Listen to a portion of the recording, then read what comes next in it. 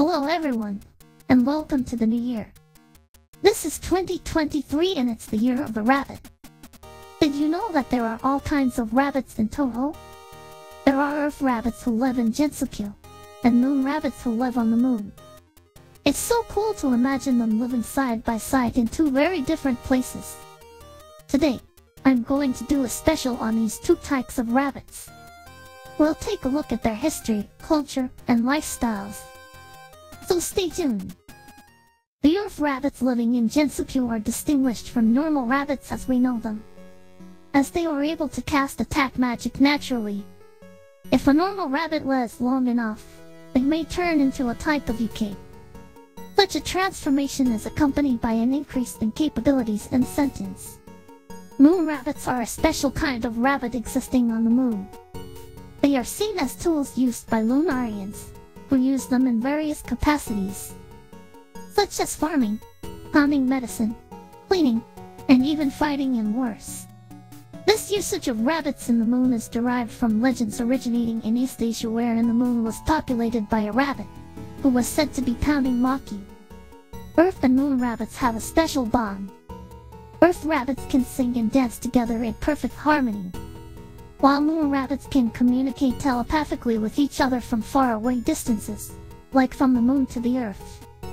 It's amazing how they can stay connected no matter the distance. It's incredible the lengths they go to to stay connected, don't you think? The moon rabbit and the earth rabbit have similar personalities. They both tend to be laid back and carefree, enjoy socializing and love stories, gossip, and rumors. Moon rabbits are not generally good fighters but they can be trained, although they may not be too fond of it. Moon rabbits have a unique mindset since they live in an unchanging realm. They don't have the same sense of duty or loyalty as humans due to a lack of exposure to impurity. Earth rabbits in Eientei have a custom of pounding maki into rice cakes during the monthly lunar festival. This festival was created by Eirin Yagokoro to keep the full moon away since Eirin and the others are fugitives of the moon. The Earth Rabbits dedicate this labor toward Daikoku, Kagewara and Eirin Yagokoro, out of respect. Eirin mixes drugs into the Maki recipe to make the rabbits more excitable, so they can enjoy the festival. Moon rabbits, on the other hand, must pound Maki to atone for chains instead of drinking the Hourai elixir Iwakthon. Although they are said to be making rice cakes, they are actually attempting to create the elixir of Hourai. What is the Hourai elixir, you may ask? So, the Hourai elixir is a forbidden elixir created by Eirin Yagokoro using copied Houraisan's power of the manipulation of eternity. Basically, if you drink it, you won't age, you won't get sick, and you won't be able to die. You'll still be as vulnerable and frail as before. But any injury you receive will be healed in a matter of days. And even if you're completely destroyed, you'll be completely restored. It's pretty amazing, but also pretty dangerous. While car characters who have drunk the Hourai elixir include Chang'e, Kaguya Houraisan, Eirin Yagokoro, and Fujiwara no Mokou. But back to the rabbits.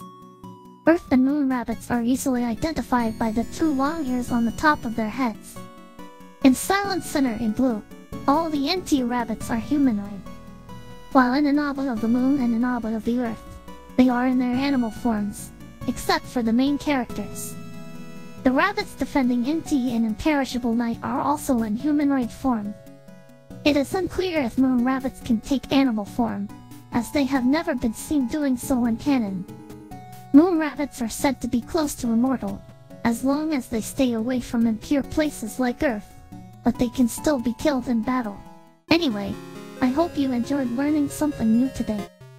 I have covered the two species of rabbits in Touhou.